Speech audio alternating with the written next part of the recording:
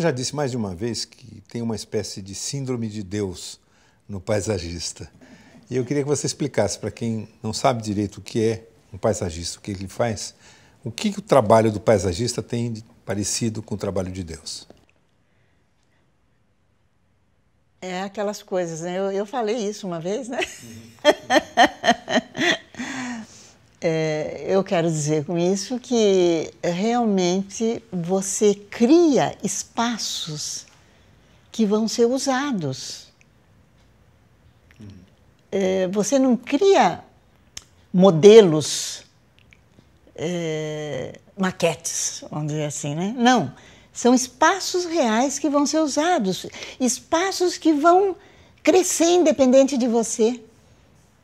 Você, quando cria o espaço e você planejou colocar três árvores, uma é, que é caduca, outras duas que são perenes. Então, o que, que acontece?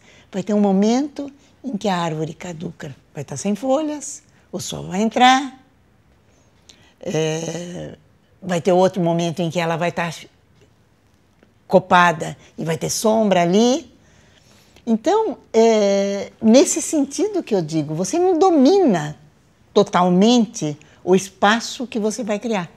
E nem ele fica igual não, o resto da vida, não, ao contrário exa da pirâmide. Exatamente. Por exemplo. Quer dizer, é, eu posso imaginar que o Lenotre, quando fez o, o Palácio é, de Versailles, né? é, é, ele criou alguma coisa, é, claro, ele tinha linhas de, é, muito claras, etc. Mas algumas coisas realmente hoje são diferentes. Naquela época, é, a floresta que ele plantou eram árvorezinhas pequenas. E hoje é uma floresta. Nesse sentido, não sei se ficou claro.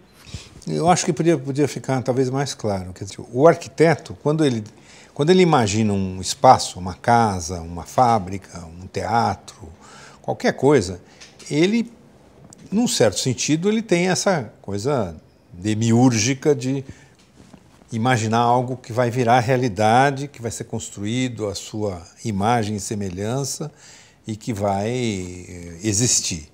Per secula seculorum. Isso. Mas o paisagista, o que, se eu entendi bem, ele faz alguma coisa em que parte do serviço não é ele que faz, é a natureza. Isso, é.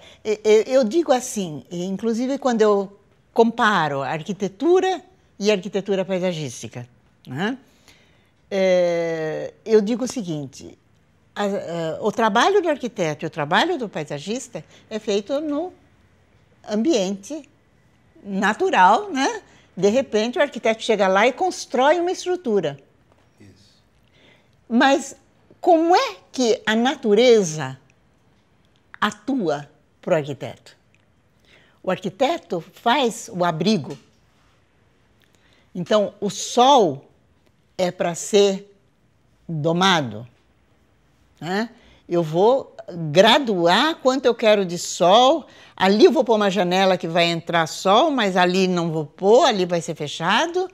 Então, o sol tem, é, vamos dizer, a, a, o sol para a arquitetura é um elemento de que eu vou, é, eu tenho que me proteger do sol, pegar dele aquilo que me interessa. Né? A chuva é proteção, a casa é uma proteção da chuva. E para o arquiteto paisagista? É uma benesse. A chuva vai trazer a água que vai alimentar as minhas raízes. Tá certo? Então, existe uma total diferença de propósitos entre a arquitetura e a arquitetura paisagística. Uhum. Não sei se ficou claro para você. Mas em muitos dos trabalhos seus, por exemplo, o Parque da Juventude, é, existe um momento em que o paisagismo conversa com a arquitetura ou até mesmo com o que sobrou de uma arquitetura do passado, caso de ruínas de edificações que já estavam lá, por exemplo. Né? É, como é que dá para conversar essas duas coisas? O que é que preciso, preciso fazer para que essa conversa resulte agradável? Claro. É digamos, a arquitetura que está ali num, num certo sítio, e, e, e, é, que é, digamos, às vezes, um foco para se fazer o trabalho de paisagismo, certo? Então, a, a, a, o, vamos dizer, o jardim, vai, tem que conversar com a arquitetura. É, ele não pode é, se desligar, não é? Então, existe, por exemplo, aquela coisa dos vãos que se abrem para o jardim, não é? Uh, uh, no, na, na, na, parte de, de, de, de do, do espaço aberto, eu vou criar uma alameda que vai, vou dirigir para aquela construção que vai chegar no portal da entrada do prédio. Quer dizer, existe realmente uma, um diálogo. Que não deve ser subordinado. O jardim não deve ser uma mera, um mero apêndice Depende da construção. Depende da escala. Entendi. Se é uma escala pequena, é maior a, a dependência, digamos, da solução paisagística da arquitetura.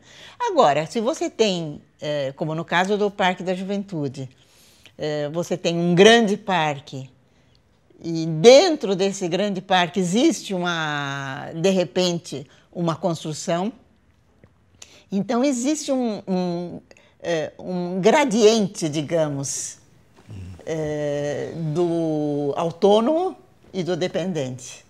Uhum. Não sei se ficou claro. Sim.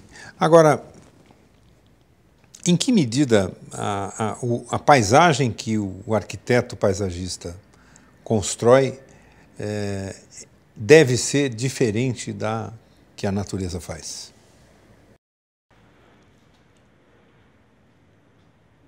Ela é sempre diferente. Por quê? Porque é uma criação do, do homem. Né? E é, até agora o paisagista só tem síndrome de Deus, ele não é Deus. então, é, é, não é a natureza, certo?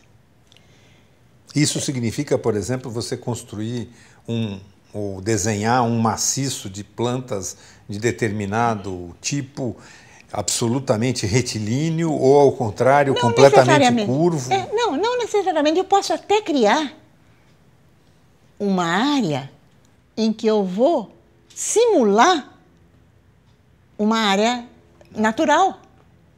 Então, eu vou procurar as espécies da, da, da região. E agora, uh, vamos dizer, como está muito na moda os jardins. Uh, é, com espécies nativas. Né? Então, você pode até chegar a dosar porcentagens de árvores tais e tais, como na natureza acontece, mas sempre você está simulando. Uhum. Sempre você está simulando. Como é que você foi parar no paisagismo? Ah, como eu fui parar no paisagismo?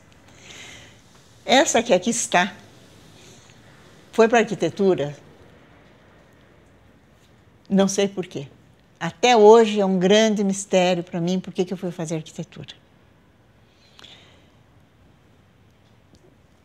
Quando eu fui me inscrever para fazer vestibular, eu me inscrevi em física e arquitetura.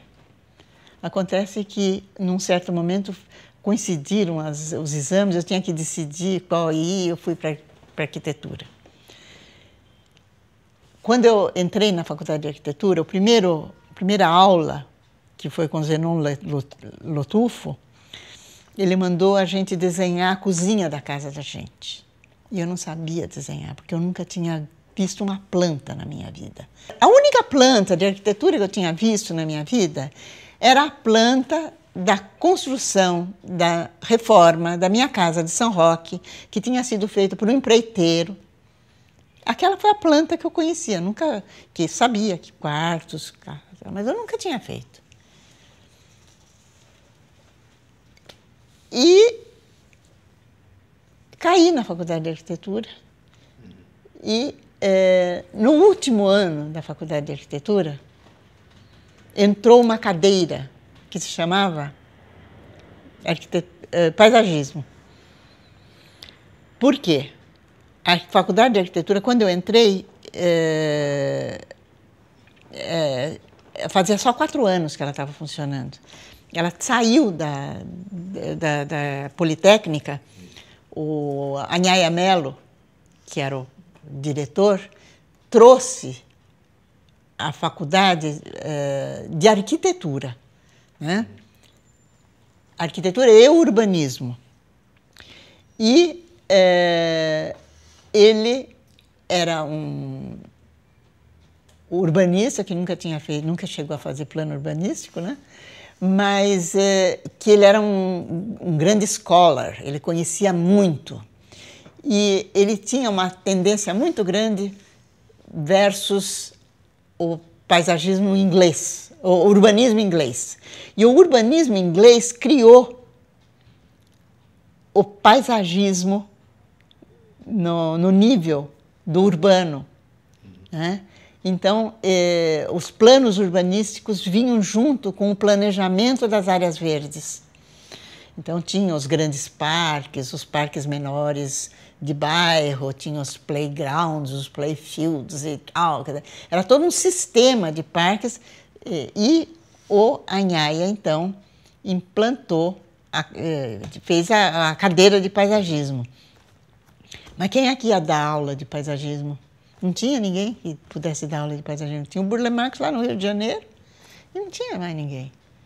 Acontece que naquele momento, um momento histórico, o Artigas chegou para Anhaia Mello e disse, olha, acabei de receber uma carta do Garrett Eckbo, de Berkeley, que um aluno dele baixou aqui, está lá no escritório do Burle Marx,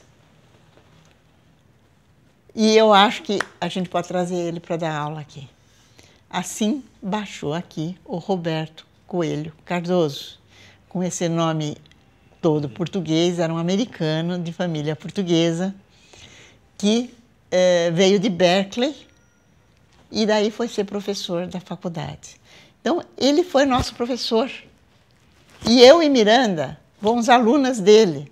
E imediatamente entendemos que aquela era a nossa missão. E é, trabalhamos em paisagismo desde aquele momento.